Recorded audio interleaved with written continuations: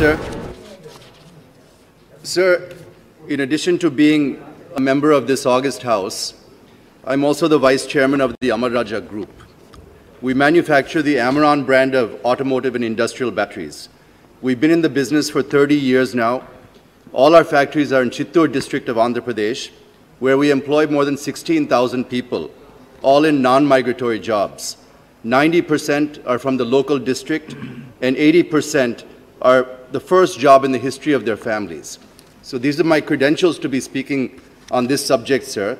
And since we are combining three bills together, which, is, uh, which all are very important. Your credentials are already very rich. Yes, sir. No, so I request that I may be provided some extra time so that I can get all the points across to the minister, sir. Sir, there's no doubt that this is a humongous exercise because it is not child's play to bring nearly 45 enactment, enactments together and guide more than 100 other enactments being implemented by various states. So without any hesitation, I compliment the Honorable Labour Minister, Sri Santosh Gangwarji, for his stupendous work on these codes. Sir, I'll start with the Social Security Code. Sir, relating to the methodology of computation of PF and insurance contribution under Clause 78, I suggest that these be calculated on basic wages and not to include commission or performance-based bonus, business expenses, leave encashment, etc. So they may be removed from the definition of wages, sir. It will help employees in taking more salary home, sir. Sir, Clause 2, bracket 88, definition of wages is inconsistent compared to our present definition of wages under various labor laws. This may lead to further liability to the employers when calculated under different benefits. For example, definition of wages under gratuity has been widened and has increased the gratuity liability of employers, sir. Sir, Clause 45 on unorganized workers. The bill allows schemes for unorganized workers to be additionally funded by the Corporate Social Responsibility Fund defined under the Companies Act 2013. However, the bill does not include provision on overriding effect of more beneficial welfare schemes already passed by different states. So this could kindly be looked into, sir. Sir, Clause 142 on the application of Aadhaar, the code is making Aadhaar mandatory to receive benefits. My question is, is this not a violation to the prevailing Supreme Court judgment, sir? Sir, the code is also silent on international workers. There's no definition for international worker. So employer who engages international workers do not know how to calculate the PF contribution, etc., to be made. There's clarification needed on this also, sir. Now I'll come to the Industrial Relations Code, sir. Sir, I welcome the proposal of a predefined fixed-term employment under Clause 2 bracket O. The concept of this is based on the need for industry to hire for projects or seasonal requirements like road infrastructure projects and international orders. Presently, what the companies are doing, they hire a contractor and the contractor in turn engages the workers. But the point is, whatever company pays to contractor in the name of a worker is not reaching the worker, due to which workers lose out on the money entitled to them. They are also denied social security benefit. So the fixed term employment would address this problem. While we welcome fixed term employment, we also foresee a danger of companies avoiding permanent employment, so it is good to add a minimum and maximum tenure for fixed term employment also, sir. Sir, Clause 83 of the bill deals with the reskilling fund. It is a new provision in the code, and I welcome this. The code says that the reskilling fund needs to be created with the government and employer will pay 15 days of wages to the fund within 40 days, 45 days of retrenchment. But I submit for consideration of the Honorable Minister to exempt such establishments which are on the verge of layoffs or closures. Otherwise, this will be an additional burden on them, sir. Sir, secondly, we have a huge Ministry of Skill Development. So the ministry should also make its contribution, financially and otherwise, to make this reskilling a success, sir. Clause 2, bracket 2F, concerted casual leave on a given day for 50% or more workmen would be treated as strike. This is welcome and in many ways prevents unnecessary industrial unrest.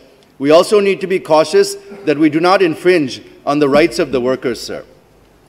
Clause 44, bracket 2, the code introduces industrial tribunal consisting of two persons and one from judicial and the other from administration, instead of one person in the earlier Industrial Dispute Act 1947. Though this is a good move, it would be prudent to make the number of members in the tribunal at an odd figure instead of an even one, so as to settle, so as to settle the case if there was difference of opinion between the members, sir. Sir, clause 62, bracket 1, the code introducing 14 days notice to be given for strike is good as it gives time for discussion and dialogue. This should be uniformly applied for all sectors, sir.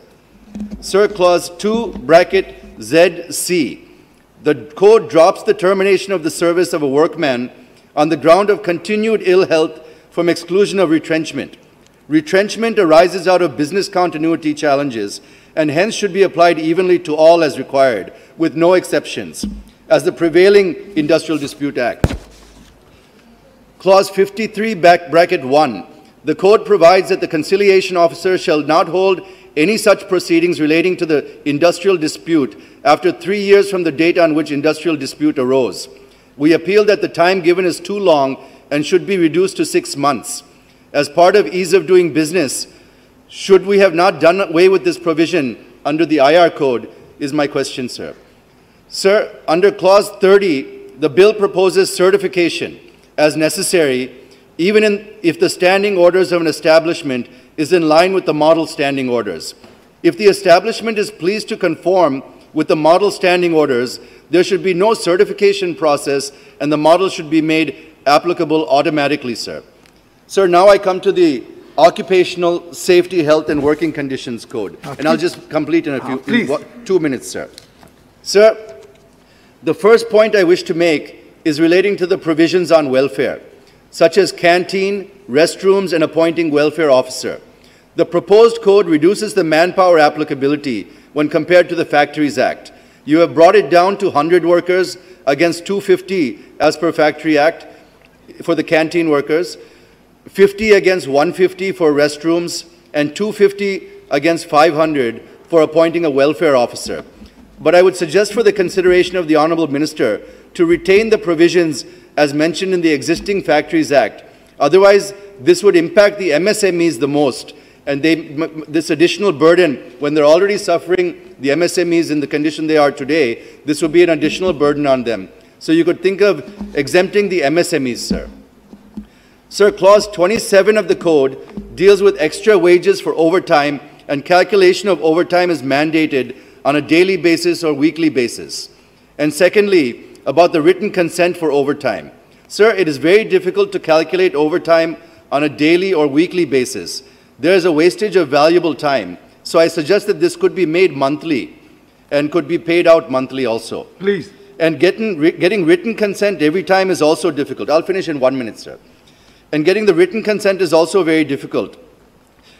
The consent of the worker can be taken at the time of appointment itself. If he does not want to work overtime, he not need give his consent. Further, the worker can also be provided the right to exercise inability in any given time during the employment for genuine reasons. Sir, in clause 87, where it talks about penalties, prosecution of employer should be removed from Occupation Safety Act. Penal fines should be sufficiently should be a sufficient deterrent.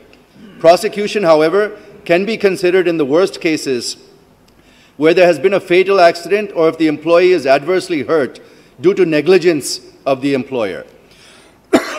So, sir, these are some of the submissions that I wish to make for consideration of the Honorable Minister, and I expect him to please act on them positively. With these observations, I support the codes. Thank you, sir.